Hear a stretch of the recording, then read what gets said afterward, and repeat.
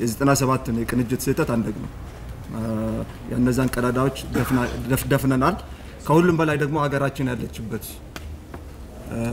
ሁኔታ አሁን የቆምንበት መንታ መንገድ ላይ የቆም ነው። ከዚህ በኋላ እነዛን ስህተቶች መድገም ማለት በሀገርና በሕዝብ ህልውና መጫወት ማለት ነው። ለኢህአዴግ ዋነኛው ሀገራዊ አማራጭ እንሆናለን የሚል ግምት ነው ያለኝ።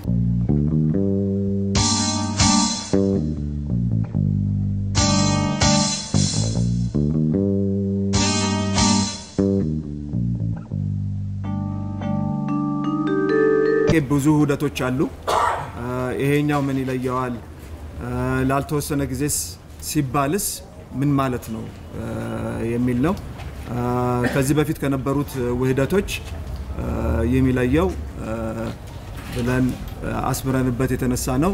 ይህ የማይፈርስ የማይከሽፍ በሂደት ችግር የማይገጥመው ውህደት ይሆናል የሚል ተስፋ ነው። ተስፋችን ነው ተስፋችን ነው። ምንድን ነው ተስፋችንን ለየት የሚያደርገው?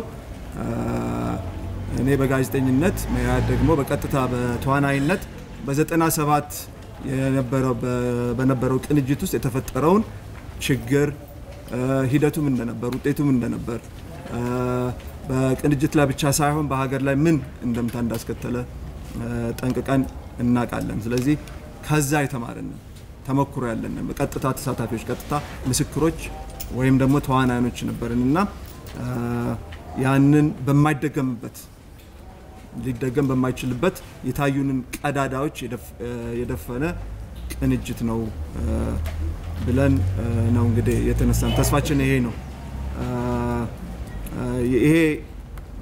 ይሄ ቅንጅት ከዚህ በፊት እንደነበሩት ቅንጅቶች መጨረሻው ሕዝብን የሚያሳዝን የመሆን እድሉ እኔ መቶ በመቶ ምንም የለም ባልልም በጣም ግን አነስተኛ ነው። በጣም አነስተኛ ነው። እንደው በአለት ላይ በእኔ ግምት በእኔ ግምት አለት ላይ ቆመ ቅንጅት ነው፣ ህብረት ነው። ይሄንም ምርጫ ለመሻገር ብቻ ሳይሆን ሀገራችን ውስጥ ዲሞክራሲያዊ ስርዓት ለመገንባት ትልቅ መሰረት ተጥሏል ብዬ ነው የማስበው። ሌሎችንም እንስባለን። ይህ ጅማሮ ነው። ይህን ልናሰምርበት ይገባል። ጅማሮ ነው። የተጣደፍ ነው የተጣደፍ ነው የካቲት 30 ምርጫ ቦርድ ያስቀመጠው የካቲት 30 ቀነ ገደብ ሳያልቅ መመስረት ስላለበት ብቻ ነው። አንድ ጊዜ ህጋዊ ማዕቀፉን ካስቀመጥም በኋላ ሌሎች ድርጅቶች ወደ እኛ መጥተው እንዳይቀላቀሉ ህጉ አይከለክልም። ስለዚህ ይህንን መድረክ ለማመቻቸት ነው የተጣደፍ ነው እንጂ እኛ ያጠናቀቅ ነው እኛ የፈጸም ነው ውህደትና ቅንጅት አይደለም። ሌሎች ይቀላቀሉናል። ምናልባት እስከ ሰኞም ድረስ አንድ ሌላ ድርጅት ይቀላቀላናል ብለን ተስፋ እናደርጋለን። ቅዳሜና እሁድ ስብሰባ አላቸው። ውሳኔ ሰጪ አካሉ ውሳኔ ያደርጋል። ስለዚህ ሰኞ በመስራች አባልነት ይህ ድርጅት ይቀላቀላል የሚል ተስፋ አለን። ግን በሂደት ህብረ ብሔራዊም ብሔራዊ ድርጅቶችም የኢትዮጵያ አንድነት እስከተቀበሉ ድረስ የኢትዮጵያን ዲሞክራሲ እስከተቀበሉ ድረስ የሚቀጥለው ምርጫ በሚቀጥለው ምርጫ ደግሞ ኢህአዴግን ለማሸነፍ ቁርጠኛ አቋም እስከያዙ ድረስ ይህንን ስብስብ መቀላቀል ይችላሉ፣ ይቀላቀላሉ ማለት ነው። ሁለተኛው ጥያቄ ያቀረብከው ባልደራስ አንድ አመት ይሞላዋል መጋቢት አንድ ምን አስመዘገበ በአንድ አመት ውስጥ ምንድን ነው የተጨበጠ ነገር ለሚለው እንደው ቀላሉ መልሻ ይኸውና አሁን በሀገር አቀፍ ደረጃ ገዢውን ፓርቲ የሚፎካከር ስብስብ እየፈጠርን ነው። ይሄ ግኝት ነው። ይሄ ግኝት ነው። አንድ ትልቅ ውጤት ነው። ለህዝባችን ተስፋ ብልጭ አድርገንለታል። ለአዲስ አበባ አሁን በአዲስ አበባ ብልጭ ያለውን ተስፋ ወደ ሀገር አቀፍ ደረጃ ልናሳድገው ነው፣ ለማሳደግ ነው ይሄንን መድረክ የፈጠር ነው። ስለዚህ ይሄ አንድ ትልቅ ግኝት ነው ብለናል። እኛ ባንኖር ምናልባት ገዢው ፓርቲ በሚቀጥለው ምርጫ አዲስ አበባን አሸንፋለሁ ብሎ ብሎ እርግጠኛ ባይሆንም ግን የሚተማመንበት ደረጃ ላይ ይሆን ነበር ብለን ነው የምናስበው። እኛ ስላለን ግን አሁን ሁሉ ነገር አዲስ ሁሉን ነገር በአዲስ መንገድ እንዲመለከት ተገዷል ብለን እናስባለን። ለአዲስ አበባ አማራጭ ሰጥተናል። ግን በአዲስ አበባ ብቻ ሳይሆን አማራጩ በሀገር አቀፍ ደረጃ ማደግ አለበት ነው የምንለው።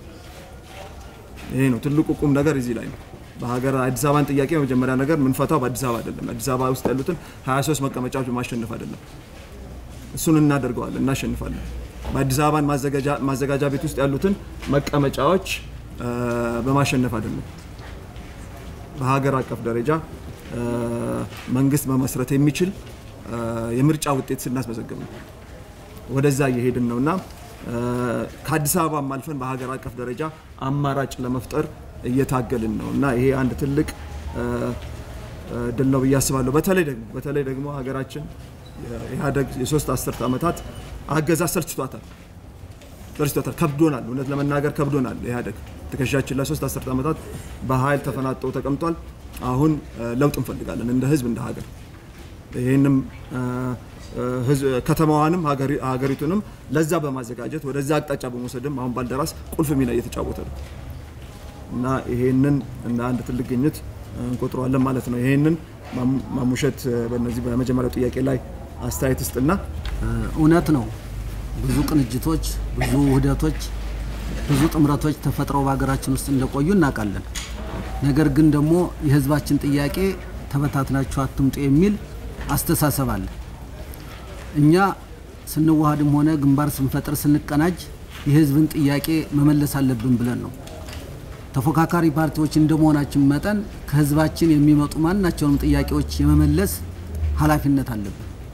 ስለዚህ ህዝቡ በመበታተን የእናንተንም ጉልበት የእኛንም ጊዜ የእኛንም አቅም ከምትፈታተኑ ይልቅ በጋራ ሆናችሁ ብትሰሩ የተሻለ ድምፅ ታገኛላችሁ የሚል አስተሳሰብ ስላለ ያንን መልስ መስጠት ተገቢ ሆኖ እናገኘዋለን።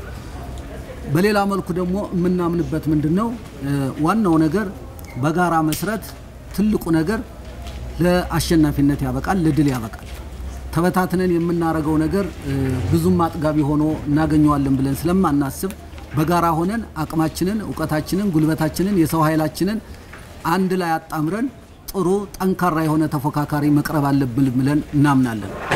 በመሰረቱ እንዲሁ ተበትኖም የቀረ ቅንጅት አልነበረም። የ1997ቱን ቅንጅት እንደምታስታውሱት ጠንካራ ስለነበረ በህዝብ ፈቃደኝነት የተመሰረተም ስለነበረ በፓርቲዎቹ ሁለንተናዊ አቅም ላይ የተመሰረተ ስለነበረ ቅንጅት የህዝብን ድምፅ፣ የህዝብን ሀሳብ፣ የህዝብን ልብ በመግዛት የነበረውን ስርዓት በዚያ ጊዜ የነበረውን ኢህአዴግ አሸንፏል መቶ በመቶ በምርጫ። ከዚያ በኋላ አሁን አንዳንዶቹ ማሸነፍና መሸነፍን የሚወስኑት ወንበር ላይ በመቀመጥና ባለመቀመጥ ነው።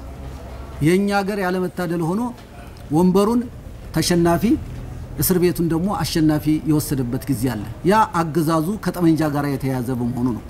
እኛ አሸነፍን ብለን ስንል የህዝቡን ድምፅ ሙሉ በሙሉ ወስደን ነበር ወስደናል። ህዝቡ ሙሉ በሙሉ ድምፁን ሰጥቶናል። በዚያ መሰረት አሸንፈናል። እንዲሁ የተበተነም አይደለም። አሁንም ቢሆን የምናረገው ቅንጅት የተቀናጀ የምናረገው ዛሬ ያረግነው ቅንጅት እንዲሁ በህዝብ ይሁንታ ላይ የተመሰረተ ህዝቡ የሚያነሳቸውን ጥያቄዎች የሚጠይቀንን ጥያቄ ለመመለስም የታሰበ በሌላ መልኩ ደግሞ ሁለታችን ድርጅት አሁን እዚህ ላይ ያለ ነው። አሁን ዛሬ በፊት ለፊት ያለ ነው። በምንም አይነት መልኩ ምንም አይነት ችግር የሌለብን የሀገራችንና የህዝባችንን ችግር ለመቅረፍ የሁለታችንን ፍላጎት ሙሉ እምነት ያለበት መሆኑን ስለዚህ በጋራ ለየብቻችን ከምንሆን በጋራ ሆነን መጪውን ምርጫ ማሸነፍ የሚያስችል አቅም መፍጠር አለብን ብለን በሙሉ እምነት የገባንበት ስለሆነ ስጋታችሁን በዚህ እንድትቀርፉት እፈልጋለሁ። ዋናው ነገር እንግዲህ ላልተወሰነ ጊዜ የተባለበትም ዋናው ነገር አሁን ከፊታችን ያው እንደምታውቁት ምርጫ ነው ያለው። ወደፊት እንግዲህ ደግሞ ውህደት እናደርጋለን ብንል የማይከለክለን መሆኑን ነው። ላልተወሰነ ጊዜ በቅንጅት መልኩ እንቆያለን። ወደፊት ደግሞ በስራ ሂደት በደንብ እየተግባባን የህዝባችንን ጥያቄ መልስ እየሰጠን በሄድበት ቁጥር ደግሞ ወደ ውህደት ከቅንጅትም ወደ ውህደት የምንሄድበትን መንደርደሪያም ለማሳየት ነው። ላልተወሰነ ጊዜ ምንም ወሰን የለውም። እዚህ ቦታ ላይ ለምርጫ ብቻ ነው ያደረግነው ብለን የምንለው ነገር አይደለም። ላልተወሰነ ጊዜ ብለን ማስቀመጣችን ሌሎች ተጨማሪ ነገሮችን መስራት የሚያስችለንን አቅም ለመፍጠር ጭምር ነው። ይሄ እንግዲህ ሌላው ማንፌስቶ አላችሁ ወይ የሚልም ጥያቄ አለ። ማንፌስቶ እንግዲህ እየተዘጋጀ ነው። ዛሬ እዚህ መግለጫችን ላይ እንደተሰማችሁት በጋራ የሁለታችን ፓርቲ የጋራ ማንፌስቶ የሚሆን በአጭር ቀን ውስጥ በአጭር ጊዜ ውስጥ ጽፈን አሳትመን ለእናንተ ለሚዲያዎችም ለህዝባችንም ግልጽ የምናደርግ መሆኑን በዚህ አጋጣሚ ነው መግለጽ የምፈልገው። ገምግማችኋል ይላልከው ግን እኔ ቅድም ትንሽ ሸረፍ ያደረግኩት ይመስለኛል። እኛ ተዋናዮች ነበርን ምርጫ 97 ላይ እስረኞችም ሰለባዎች ነበርን እና ከዛ ተምረናል። ያንን ስህተት አንደግምም። ደግመዋለሁ። የ97ን የቅንጅት ስህተት አንደግምም። የእነዛን ቀዳዳዎች ደፍነናል። ከሁሉም በላይ ደግሞ ሀገራችን ያለችበት ሁኔታ አሁን የቆምንበት መንታ መንገድ ላይ የቆምነው ከዚህ በኋላ እነዛን ስህተቶች መድገም ማለት በሀገርና በሕዝብ ህልውና መጫወት ማለት ነው። ይሄ ግንዛቤ አለን። ስለዚህ በሀገርና በሕዝብ ህልውና እንጫወት። ስለ አንድ ድርጅት አይደለም የምናስበው፣ ስለ ሕዝብና ስለ ሀገር ነው። ስለዚህ በዛ ደረጃ የተመሰረተ ቅንጅት መሆኑን ማስገንዘብ ፈልጋለሁ። አመርቂ ውጤት ልታመጡ ትችላላችሁ ወይ ላልከው እኔ አሁን ባለን ቁመና ወደፊት በምናመጣቸው ወደዚህ ስብስብ በምናስገባቸው ድርጅቶች ለኢህአዴግ ለገዢው ፓርቲ አውቃለሁ ስሜን ለውጫለሁ ብሎናል። ኢህአዴግ ብልጽግና ፓርቲ ግን ያው ኢህአዴግ ነው፣ ለኛ ምንም ለውጥ የለውም። ለኢህአዴግ ዋነኛው ሀገራዊ አማራጭ እንሆናለን የሚል ግምት ነው ያለኝ። ይሄንን of course ግምቴ እናገራለሁ፣ ግን ይሆናል አይሆንም የሚለውን በሂደት አብረን የምናየው ይሆናል ማለት ነው።